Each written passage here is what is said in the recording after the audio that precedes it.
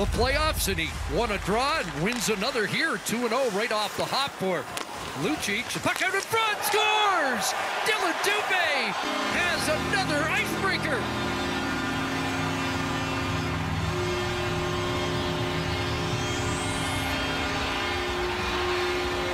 This kid is red hot right now. Dillon Dube with two goals in game one.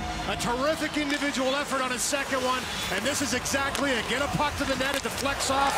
And a hard carom off the back wall comes right out. Sam Bennett once again. Distracting in front. Little pick on Klingberg. Tries to kick it. But Dube with the chip backhand shot. Up and over top of Bishop for a very early 1-0 lead for the Flames.